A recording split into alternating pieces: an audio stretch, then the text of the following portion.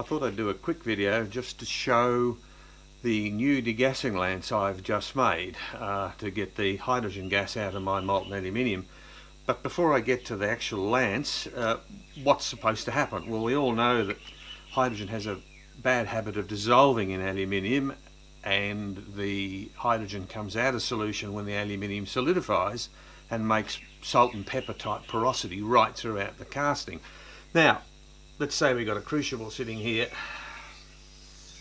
full of molten aluminium and the standard trick is to bubble a purge gas through the aluminium with the idea that the hydrogen that's sitting in the aluminium will move into the bubbles of the purge gas and then get taken out of the melt.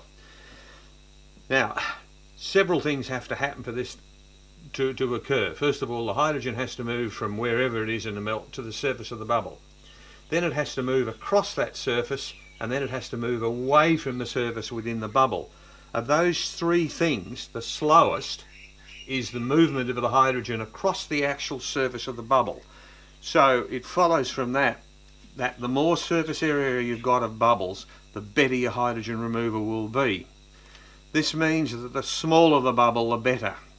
If you have 10 millimeter bubbles compared to say 1 millimeter bubbles, on the 1 millimeter bubbles for the same amount of gas there's going to be 10 times the surface area and you'll get 10 times the hydrogen removal. So the trick is to have very small bubbles. In fact, it's generally reckoned if your bubble size is above 5 mil, you're wasting your time, and it's better if it's 1 to 2 mil. Um, commercially, they use these rotary impeller degassers where the impeller that the gas is coming out of spins and this chops the bubbles up very fine. I've developed an alternative technique uh, of a static lance that seems to produce very fine bubbles. I started off making them quite small. Here's a very small one. Um, and the idea is the gas goes down here, it comes out through these little slits are, held between, but that's bolted together so that almost closes the slits off. The slits are actually only about five thousandths of an inch deep. Now, I've actually made various sizes ones of these over the years. Here's a slightly bigger one that's actually done quite a lot of use now and it's quite badly oxidized so it's time that one had to be replaced. This time I thought I'd make something a little bigger and this is it. I've decided to go bigger because when you stand them up, when they're up there like that in the metal, there's a tendency for the gas to sort of come in and come towards the central column here and so that you wind up with only bubbles sort of coming up in this area here rather than right out on the whole melt. This leads to some problems. Anyway, here is the inside of that one. This is just flat and plain. Uh, here we've got our 5 thou deep slits. There's actually 32 of them around this one and the rest of this arrangement's just to make certain the gas is fairly evenly distributed out to this groove here. Um, the central bolt has a groove in it so that the gas can get from the tube out to there. Now this bit's made out of cast iron. This tube happens to be a piece of 3 8 stainless steel and it's nice uh, in that it takes a 3 8 uh, UNF thread that I can screw everything together with. These three outer bits here are simply a protection sheath if the aluminium gets at this tube it'll cut through it in a matter of 30 seconds or so. So I use this which is just a mild steel sheath but it's been oxidized by heat and then painted with a boron nitride um, wash that helps protect it. You can see that this lance that I used to use, the tip that I used to use here, that's got this wash on it and it protects it quite well. Doesn't provide quite the same protection for the sleeve and I've had to grind bits of attack where the aluminium's got it out uh, and, and several times. Before I use this, I will oxidize it at something like dull red heat to make certain it's got a good layer of oxide and then I will uh, paint it with this, this wash. The only problem with that wash is it's rather expensive stuff. Um, these tubes it's just mild steel as I say and I drill them with a gun drill just as a standard gun drill. I don't have a gun drill long enough unfortunately to uh, make this in one piece. uh, which would be nice if I did because the aluminium gets in the gaps sometimes. Now, here's a smaller one that I use for a smaller crucible. This is the complete device here. This one I've actually have a graphite sheath here which is much better. There's my degassing head itself. I have this cover here that fits just loosely on the top of the crucible. And this weight sits on top of the graphite sleeve to stop it floating in the aluminium. Uh, if it floats, I might add, what happens is the aluminium gets in here and destroys the tube. Right, so that sits there. The cover here keeps the atmosphere immediately above the metal, uh, mainly argon, so that the furnace atmosphere, which will of course contain a fair bit of moisture from the burning of the fuel, can't get at the metal.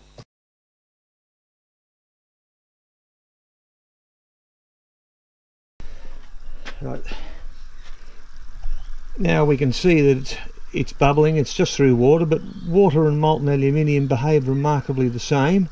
Um, you can see from the ruler there, uh, comparing with the bubbles, that I'm getting sort of a 2 to 5 millimeter bubble size, occasionally down to 1.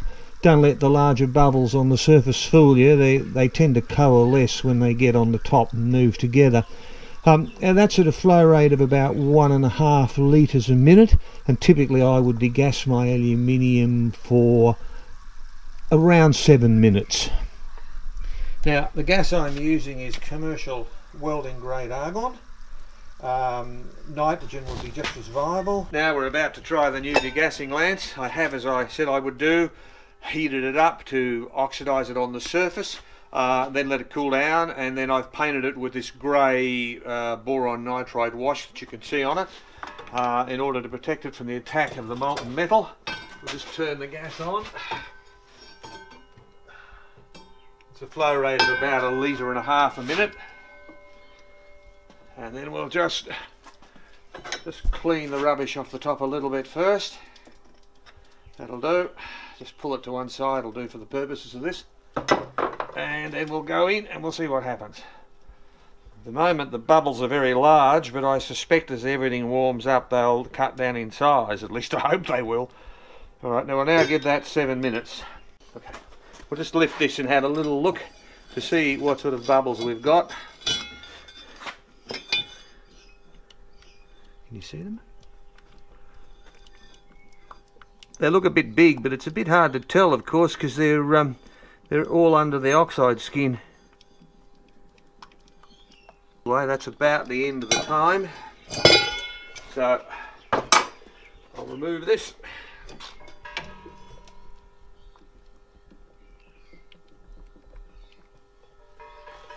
Gee.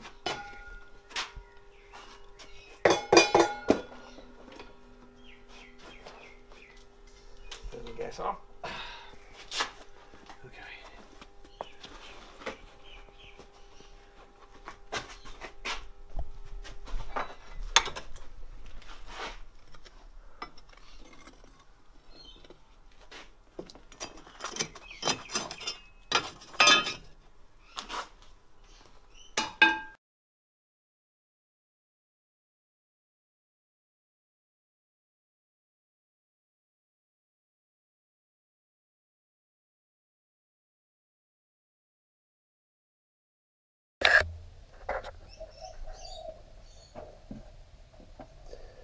I've decided that the 32 slits that I had here for the gas to come out may be a bit few too many so I'm going to remove these just face them off in the lathe and cut another 16 nothing very special about any of this. I mean the whole thing was just made in in pretty much uh, very ordinary sort of lathe work.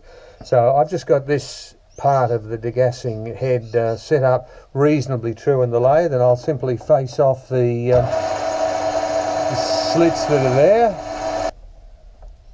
Now I recut the slots. I've just got a tool mounted on its edge to do this with a with a nice sharp point. And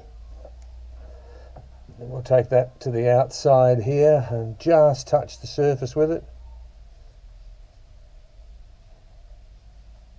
That should be it, I think.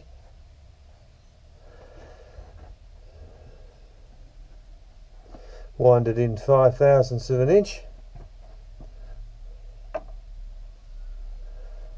and now begin to index it.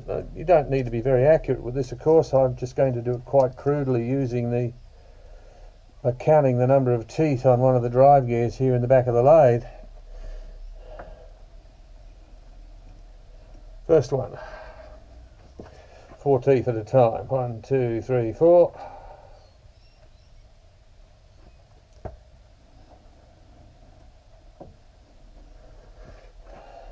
Think the only thing that is reasonably critical uh, is that the slots all be all be about five thousandths of an inch deep. They'll all be the same. And I, I've chosen five thousand. I have tried them at ten. That seemed to work too, but I think the five's a bit better. I think it does give a finer bubble size, and that's what it's all about.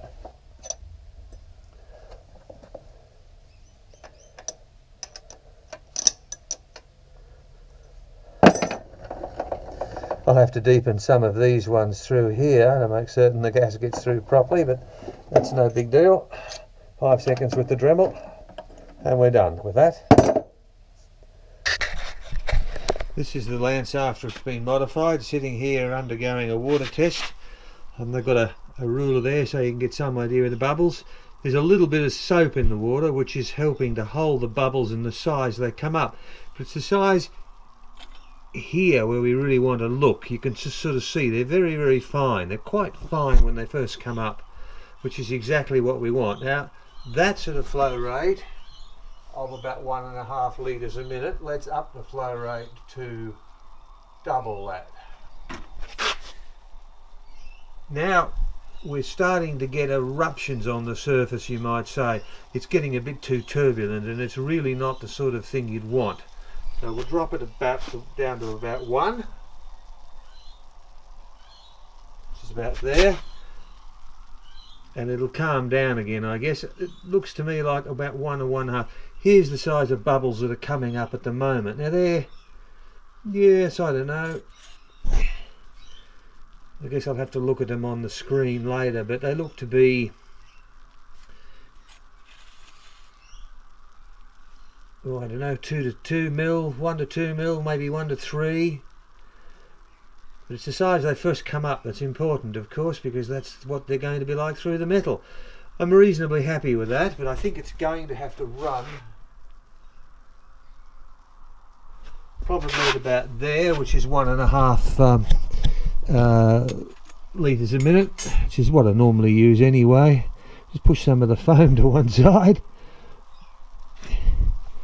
and we get an idea of the bubbles coming up. Yeah I guess they're within the well 1 to 5 mil range. So it's probably not too bad. Probably about as good as you'd ever get with static degassing. You'd need to go rotary to get any finer bubbles than that I think